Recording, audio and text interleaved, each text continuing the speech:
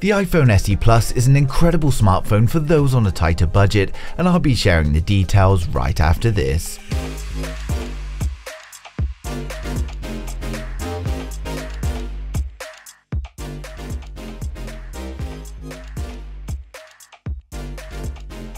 Today's video is sponsored by HiPDF, the all-in-one PDF solution available as an online platform or an app.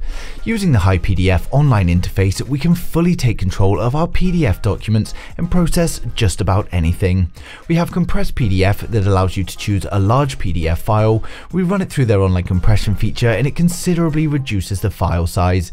We can merge PDFs if you have multiple PDF files that you want as a single document, you can simply add them here one by one using their easy merging interface. We also have OCR or optical character recognition that converts any PDF into an editable text document or more, and this allows you to quickly extract and edit text from any PDF. You can also download the HiPDF app and have all these features readily available in the same easy to use application. From the app, we can convert PDFs, save other files as PDFs, encrypt them, compress them, and merge them as well as the OCR feature. Now the optical character recognition is probably my favourite feature as it really does allow you to do anything with any PDF. But whatever your needs are, HiPDF has you covered with their easy to use features, so go ahead and give them a try today by clicking the linked in the description. So the iPhone SE Plus is coming and today we've got plenty of news to share with you about the specs, design, price and release date. Before we get started, please like the video if you're a fan of Apple and let me know in the comments what device you're watching this video on. So after Best Buy accidentally listed a screen protector for the iPhone SE Plus 2020, many were hoping that it was going to make its appearance at the latest iPhone launch event, but it didn't happen and to be honest, that was always very likely. Well, the iPhone SE Plus is a great budget choice and allows Apple to capture a much lower end of the market. With the release of the iPhone 12 and the 12 mini, they would only be adding competition to their own devices.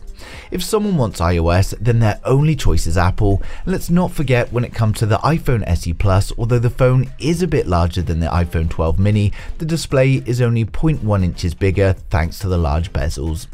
With its predecessor launching in April 2020, we can expect the iPhone SE Plus in April 2021 at the earliest, but reliable analyst Ming-Chi Kuo says that we won't actually be seeing it until the second half of 2021. There are still many confused as to why Apple would release such a phone, but it is very simple. The iPhone SE was successful and the iPhone SE Plus will be as well.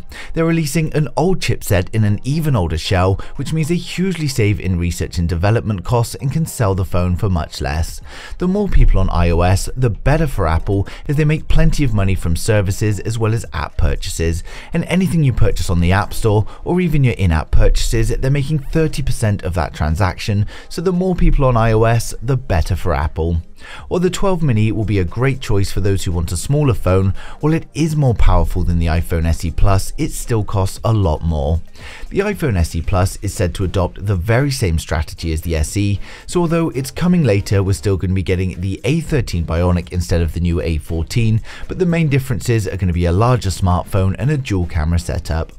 There are some who say that the iPhone SE Plus is no longer coming and we hope that their info is wrong.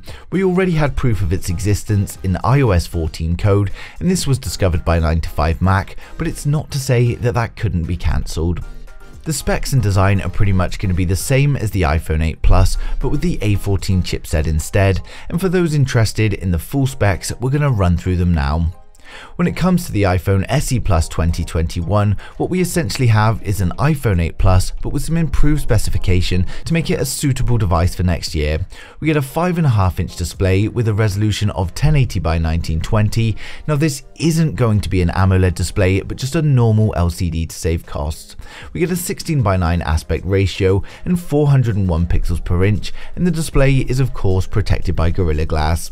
We get the more traditional iPhone look for the SE Plus with some big bezels all round and a physical home button which sports Touch ID. And when I say physical button though, it's a home pad that as with the 8 uses Apple's Taptic engine to create the feeling of a click when pressed, but it's not a physical button.